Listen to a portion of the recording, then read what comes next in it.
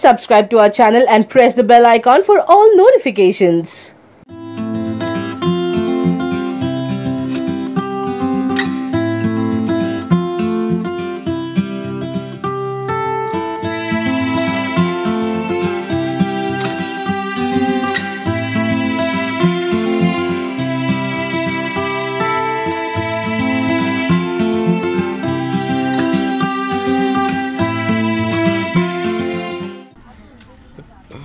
गुरुजी आप छा गए अरुण जी।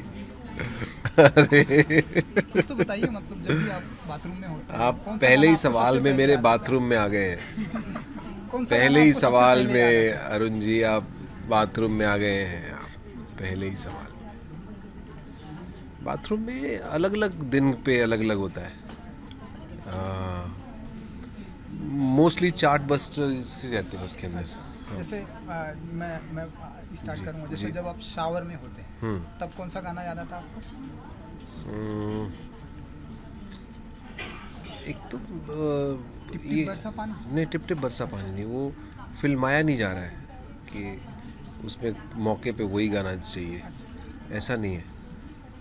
अलग अलग गाने हैं जैसे मुझे वो भी बड़ा अच्छा लगता है। अ,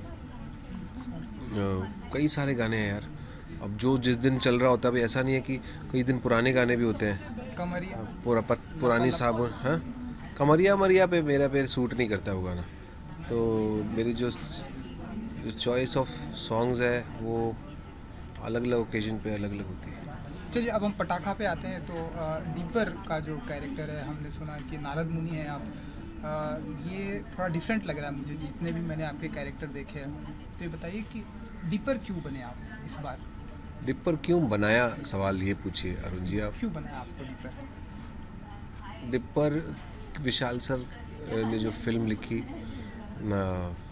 पटाखा इसके अंदर एक किरदार है जो दोनों बहनों में लड़ाई करवाता है उसका नाम डिपर है। जब भी उसको एक्साइटमेंट होती है कि लड़ाई की पॉसिबिलिटीज़ हैं तो उसकी आँखें फड़कने लगती हैं ऐसे ऐसे करके। तो आँखें फड़कने से शरीर में एक सिरहन सी दौड़ती है इस तरह से और वो एक्साइट हो जाता है। तो इसलिए उसका नाम डिप्पर की आँखें फड़कती हैं उसकी इस तरह से। अच्छा। तो और दोनों बहनों में लड़ाई करवाता है इसलिए शायद उसके घर पे टीवी या रेडियो नहीं है।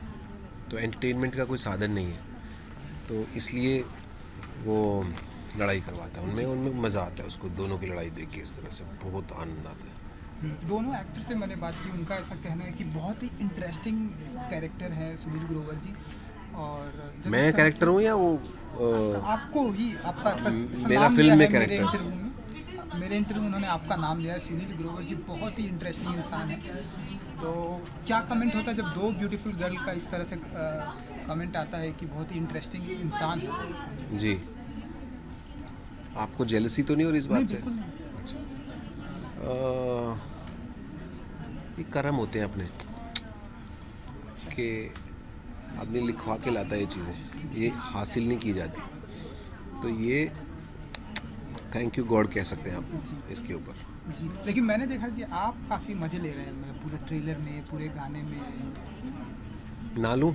बहुत ही अच्छा लगा मुझे तो वही बताइए कि कैसा रहा एक्सपीरियंस ओवरऑल वो गोबर में कीचड़ में? कीचड़ कह सकते हैं या गोबर कह लें? जो भी कह लें, अलग हाँ। काफ़ी आप मज़े ले रहे हैं। हाँ। तो ज़रा वो बताइए ज़रा मेरा जन्म इस तरह के मज़े लेने के लिए हुआ है। ईश्वर ने प्लेसमेंट ही मेरी ऐसी की है कि जा वत्स, तू मज़े ले और तेरे मज़े से लोगों को मज़ा आए, ऐसा कर। तो मैं वहाँ फ़ील्ड में ये सब करता हूँ, मुझे मज़ा आता है। गोबर में इस फ़िल्म में फ़ाइट हुई है, बरसात में फ़ाइट हुई है। और मैंने खड़े होकर ड्रम बजाए बाल तो लड़कियों ने खींचे एक दूसरे के और उसकी वजह से डिप्पर को आनंद आया। और आई एम होपफुल कि लोगों को भी आनंद आएगा इसमें। तो अगर मैं आपसे सुनील जी पूछूँ कि जी पूछिए अगर पूछिए दो दो फीमेल एक्टर आपको आप तो काफ़ी पॉपुलर हैं हिंदी फ़िल्म इंडस्ट्री में। दो फीमेल एक्टर जिनके बीच में आपको झगड़ा कराना हुआ। जी। तो नाम आप लेना चाहेंगे या मैं? आप क्यों करवाऊँ मैं झगड़ा? सिर्फ़ आपके दिमाग तो की तो उपज है कि अगर मान लीजिए आपको इनके बीच में झगड़ा करवाना हो तो और वो नाम आप देंगे मैं क्यों करवाऊँ किसी के बीच में झगड़ा? ये तो विशाल जी ने स्क्रिप्ट लिखी थी। कि ये दो कैरेक्टर हैं सान्या और राधिका में भी लड़ाई नहीं करवानी है मुझे। दो कैरेक्टर हैं जो उनके चंपा और गेंदा यानी कि बड़की और छुटकी। तो इन दोनों के बीच की जो लड़ाई है वो मुझे करानी है वो भी मेरे कैरेक्टर को करवानी है। तो मैं अपने आप को क्यों लेके आऊँ? क्या मैं डिपर बन चुका हूँ सारी उम्र के लिए कि मैं अब लोगों में लड़ाइयाँ कराऊँगा? जवाब दीजिए अरुण जी मेरे को। मुझे तो अच्छा लगा जितना भी मैंने ट्रेलर और गाने में देखा हाँ। आपका कैरेक्टर इसलिए मैंने आपसे पूछा।